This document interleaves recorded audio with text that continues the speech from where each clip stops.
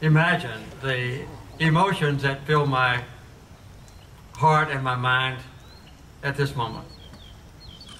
Looking at our family, the friends from Plains, the uh, people that served with me as governor and as president, and have helped the Carter Center flourish for the last 28 years. I'm overwhelmed. I'd like for everybody that had anything to do with my becoming governor or serving as governor or president just to raise your hand. All right. And uh, governor, you can raise your hand. The, the people that didn't want me to be governor or president. If he was a Democratic governor, I'm sure he would have brought me a morning. but he made up for it with his beautiful speech, and I'm really grateful. He's doing a fine job as president. In fact, he and I came from the same background. We're farmers. We used to sell fertilizer and seed uh, to farmers, so we know each other, and I've admired what he's done as president as well. I have my favorite photograph right outside my office, and it's, in, it's a picture of me and Fritz Mondale in the Rose Garden. And underneath, uh, Fritz wrote from a vice president, maybe who served with a person that he respected, but from a only vice president perhaps in history that loved his president. And I love him as well.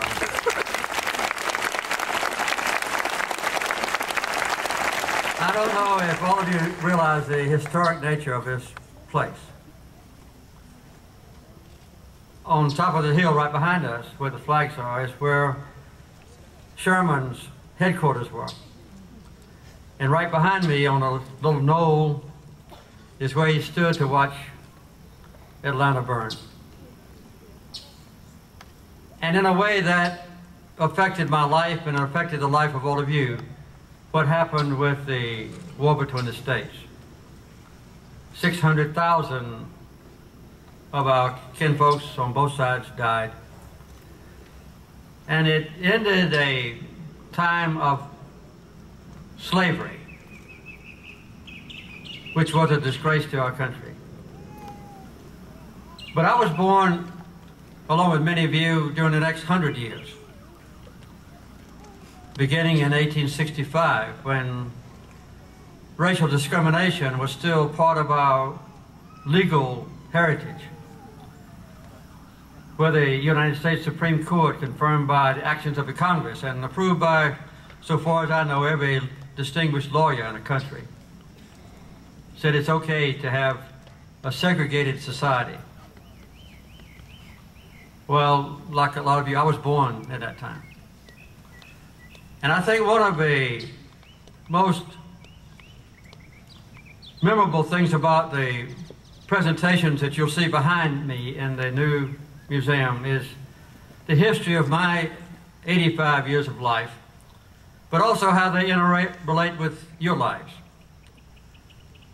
as citizens of America, and there's some others here who are my friends from other nations. We grew up under a stigma. And I was personally affected by it in a very troubling but also very beneficial way. I lived in a little community named Archery, about three miles west of Plains, Georgia. That's where we still live. I didn't have any white neighbors. All my playmates were African American kids. I fought with them and wrestled with them and played baseball with them and fished in the same creek and worked in the same fields. And it strongly affected my life because I started out with complete innocence about the damage that was being done to my family, prominent white folks, and the black families around us. We went to separate schools, we went to separate churches. And when I was about 14 years old, we went separate lives. I went on to become superior, and my playmates all of a sudden became inferior. And I, I saw then the ravages of, um, of a lack of respect for other people on an equal basis. And, and that really started my life off. And that story is told behind us in many ways. Later, I was in the Navy. I was a submarine officer. And the first time I ever knew for sure that that had been wrong was when Harry Truman ordained under great condemnation that in the military services everybody was equal. And on my submarine overnight, the African and Hispanic stewards became equal to me. And 10 years later, Rosa Parks, as you know, didn't sit in the front back of a bus, and Martin Luther King Jr. became famous. Well, it's changed. Our country's changed. And, and all of that is told in here. And, and I think it shows that there's kind of a cycle of life where we learn from our mistakes and we correct our mistakes in a great nation where people can still speak up. Just a few at a time, perhaps, like Martin Luther King Jr., who preached just a few hundred yards from here and changed my life and changed the lives of everyone in this audience. We went on, I did, to get a good education and and had religious beliefs embedded in me as a child. And I served my country and then came back home as a farmer and I was elected to the state senate and governor with the help of many of you. Tommy Irvin sitting back there was one of my good friends, still serving the people of Georgia. And it's been a chance for me to learn that all of us are in the same boat together. There's no distinguishing among us. And there's no distinguishing between us and those who live overseas, those who don't have a chance for a decent place to live or decent clothing or adequate food, no hope for an education or health care. Some people lack the opportunity for self-respect and an expectation that the future might be better than the present. That's what the Carter Center has done for the last 28 years with the help of many of you, our trustees and the audience as well. And, and I hope that when everybody goes through this new, exciting, dramatic, inspirational, educational, inexpensive, library museum that you put yourself in the role of all of us who share a common heritage and a common background and realize that each person can make a difference. One of the things that's impressed me, and this is the last thing I'll say, is how much we share from one generation to another. Even one generation of presidents and another. You'll see a presentation in the new exhibits of other presidential libraries, I think 11 others. And I've identified in going through my diary notes about 30 different things that troubled me and challenged me as president that exactly are still a major concern and responsibility of President Barack Obama 25 or 30 years later, the same things. Iran, the dream of peace in the Middle East, a comprehensive energy policy, a comprehensive policy for better health care for Americans, and I could go down the list. And that's important to know that we live in a changing society that still has things that don't change. Challenges, yes. But much greater opportunities. And I hope that every visit to the new exhibits will say, this is my responsibility too. To make sure that my children and grandchildren still live in the greatest nation on earth. Despite all its faults and tribulations, trials, mistakes, America has nurtured me. And I'm grateful for it. And grateful for all of you. Thank you very much.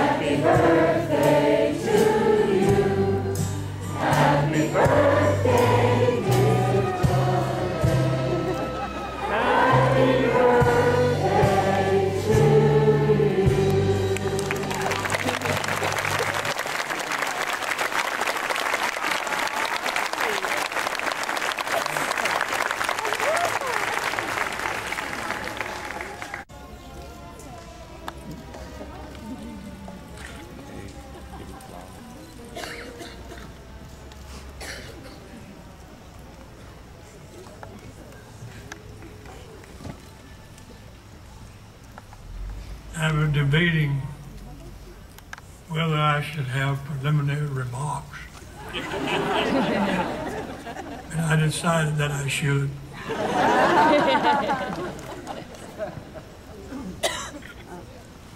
God blessed me to have benediction, inauguration of the 44th president. I'm almost just as proud to have an opportunity to say a benediction at the 85th birthday of our 39th president. Sometimes we live so close to the forest, we don't experience the individual contribution of the trees. I think sometimes we live so close to this president.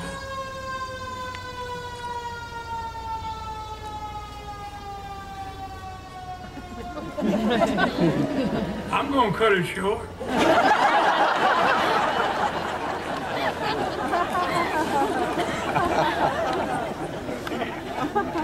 Where was I?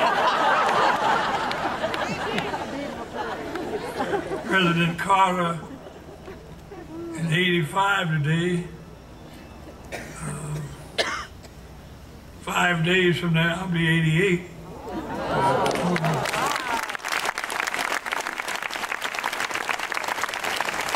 I'm, I'm allowed to forget something. But I do want to reemphasize the blessing experienced day after day by this community to have this institution and this president in our midst. Sometimes we take for granted those things that are so monumentally important to our past, to our present, and to our future. I had a joke to tell about the governor, but I forgot it.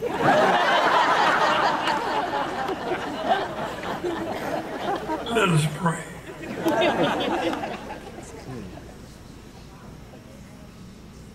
Lord, we thank you as we close this celebration for the birth and the life, presidency,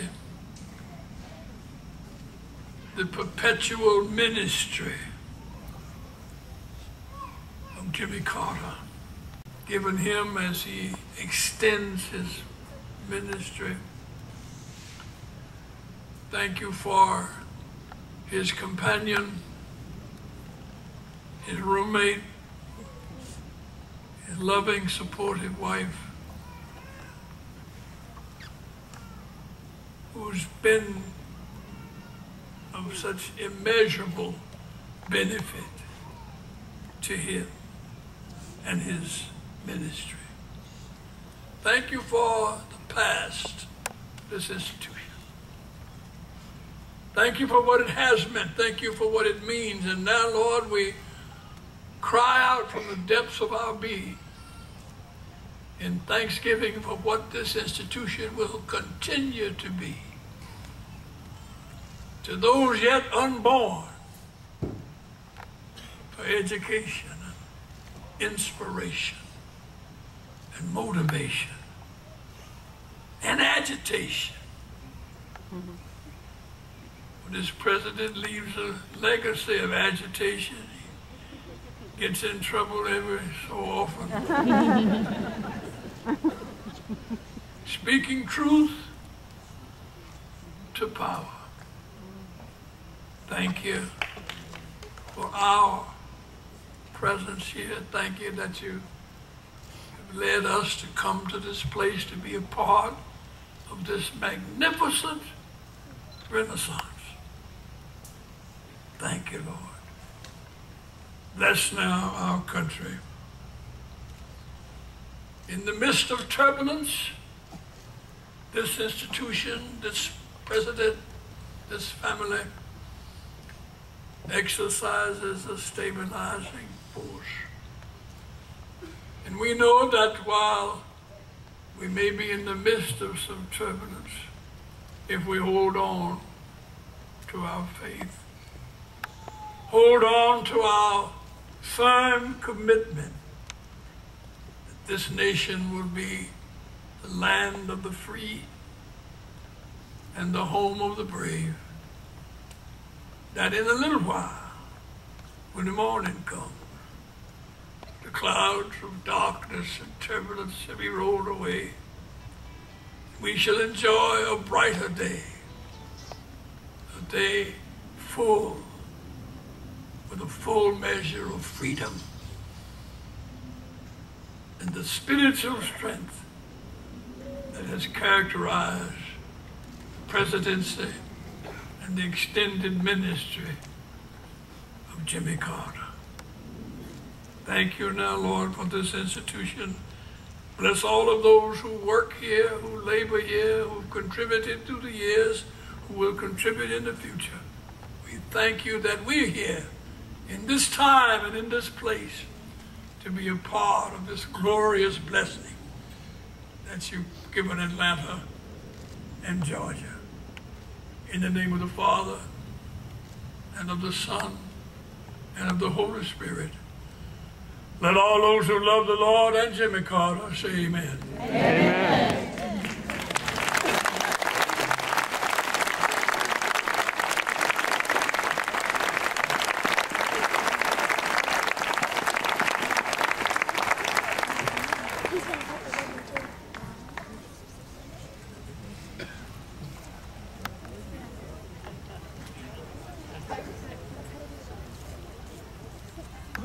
Lowery said he forgot to take up offering.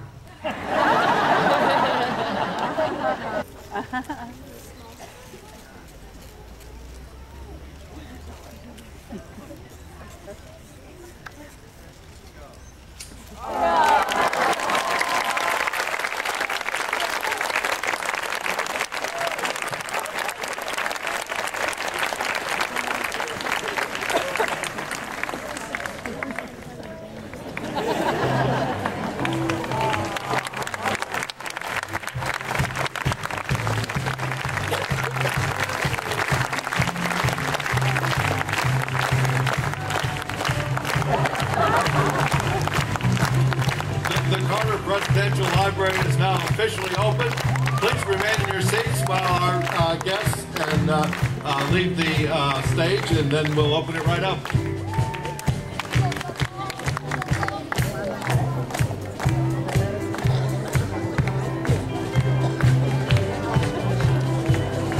I say thank you to all our great speakers today.